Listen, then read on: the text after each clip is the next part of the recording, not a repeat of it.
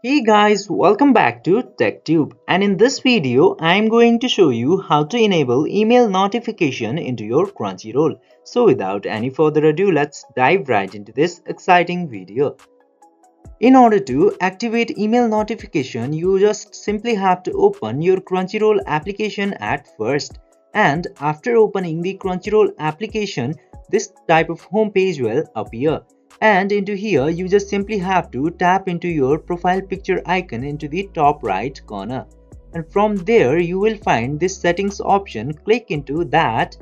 And into here you will directly find email notifications option.